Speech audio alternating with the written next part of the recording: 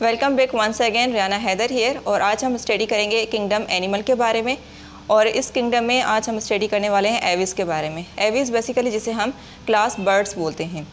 Class Aves में हम देखते हैं this class include all birds इस क्लास में जितने भी परिंदे हैं, वो इस कैटेगरी में, इस क्लास में आ जाते हैं।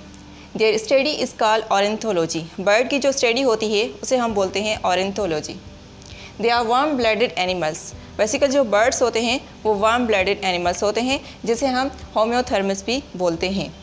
और ये वार्म ब्लडेड कौन से एनिमल बर्ड्स होते हैं?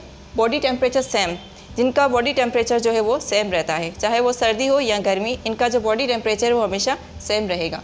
दूसरी क्लास जो मैमल्स हैं, वो भी इसी कैटेगरी में आ जाती हैं और इनमें भी यही होता है कि इनका जो बॉडी टेम्परेचर है वो सेम रहता है। Their body is covered by feathers इनके जो बॉडी है, वो फीदर से कवर हुई होती है। And they have bony skeleton इनके पास स्केलेटन होता है। बोन्स आर होलो इनकी जो बोन्स होती हैं, वो होलो होती हैं मीन्स खाली होती हैं थिन पतली होती हैं एंड लाइट हल्की होती हैं। There are nine thousand species birds की जो है, वो नाइन थाउज़ेंड स्पीशीज़ पाई जाती हैं।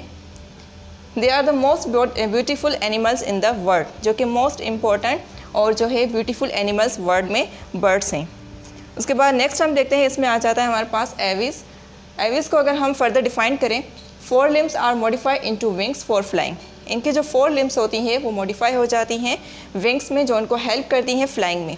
इस डायग्राम में आप देख सकते हैं, ये जो इनके हैं फोर लिम्स हैं, जो उनको फ्लाइंग में हेल्प करते हैं. They have special voice organ call syrinx इनके पास एक वॉइस ऑर्गन होता है, जिसे हम बोलते हैं syrinx they are egg laying animals और ये बर्ड्स जो हैं, वो एग लैंग एनिमल्स होते हैं. Mouth part are modified into beak and teeth are absent इनका जो माउथ है, वो बीक में चेंज हो जाता है और इनमें कोई भी टीथ वगैरह वो प्रेजेंट नहीं होता। नेक्स्ट अगर हम एविस की बात करें birds evolve in the Jurassic period from the bipedal dinosaur reptiles birds की जो इवॉल्व हुए हैं, ये जोरासिक पीरियड डायनासोर की जो रेप्टाइल्स जो थे, उस टाइम से इनका जो इवोल्यूशन उसी जोरासिक पीरियड से ही होता है। बॉडी इज़ मोर और less spinal shaped and divided into head neck trunk and tail इनकी जो बॉडी होती है वो स्पाइनल शेप होती है, जो कि फर्दर डिवाइड की होती है हेड नेक ट्रंक और टेल में. उसके बाद हम फर्दर इसको देखते हैं. Head is a small and rounded basically bird में जो हेड होता है वो स्मॉल होता है और राउंडेड होता है. अगर हम नीक की बात करें neck is long and bird don't have teeth and tail is short इनके पास कोई भी टीथ जो है वो प्रेजेंट नहीं होता। टेल इनकी स्मॉल होती है और लॉन्ग जो है इसकी नीक प्रेजेंट होती है। फ्लाइटलेस बर्ड कुछ जो बर्ड्स होते हैं वो फ्लाइटलेस होते हैं, जो उड़ने के काबिल नहीं होते। उसमें हमारे पास एग्ज़ाम्पल आ जाता है ऑस्ट्रिच कीवी और पिंगन जो है, ये फ्लाइटलेस बर्ड्स हैं। नेक्स्ट इसमें हम देखते हैं क्लासिफिकेशन की अगर बात करें classification of birds the modern birds are of birds में हम देखते हैं the modern birds are divided into two groups classification इनकी जो है वो दो ग्रुप्स में की गई है। नंबर फ़र्स्ट है इसमें रेटिटाई एंड सेकेंड है कैरेनाटाई सब क्लासेस रेटिटाटाई जिसमें non non flying animals non flying birds they are flightless ये उड़ने के काबिल नहीं होते।